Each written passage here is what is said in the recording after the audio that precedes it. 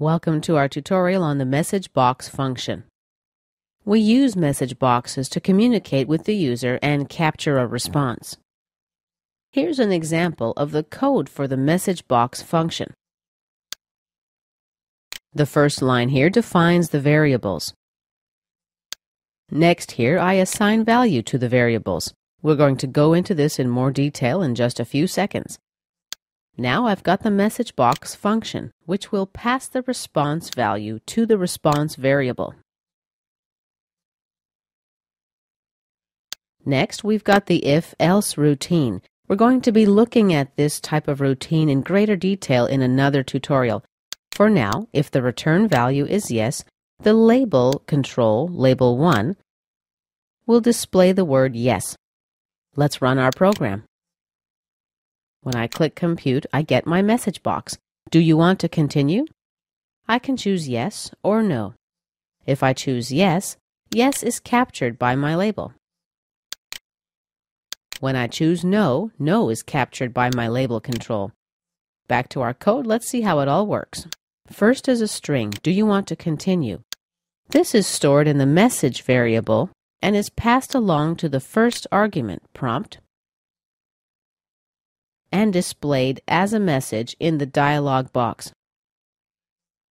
Next, second, we've got the style argument, which stores three literals, VB yes no, VB critical, and VB default button 2. For more information on these literals, let's check out the message box function help file. Here we've got VB yes no. It's got a numeric value of 4. This literal displays yes and no buttons. Next is VB critical. This displays the critical message icon, the X in the red circle. Its numeric value is 60. Last is the VB default button 2. This means that the second button, in our case that's the no button, has the current focus or is the active button when this dialog window is active. Next, we've got the title argument. Here's the information to display in the title bar. After this, we've got the help file and the help file contents. The return value of the message box function will be stored in the response variable.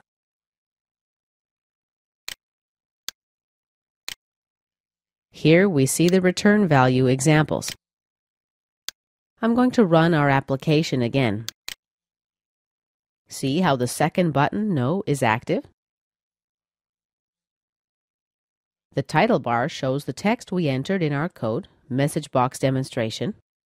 Here's the critical icon and our two buttons, yes and no. Clicking enter gives me the no result since the focus was on the second button. Okay, let's comment out these two literals and see how the message box looks when we update it. The focus is now on the first button, the default position. And we also are missing the critical message icon as well. Let's click Enter. Our return value is yes.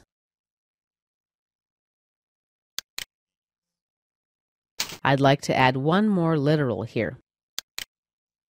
The syntax for that, add a space, a plus sign, and a space. Now right-click and select List Properties Methods. Once I start typing, Visual Basic helps me select the correct literal.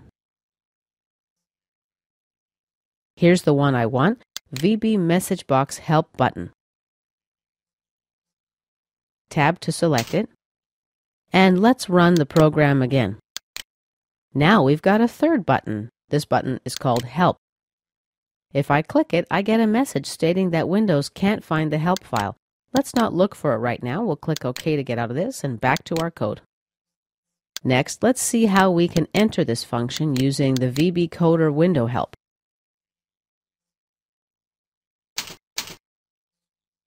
As soon as I enter the function, the editor immediately displays pop-up help.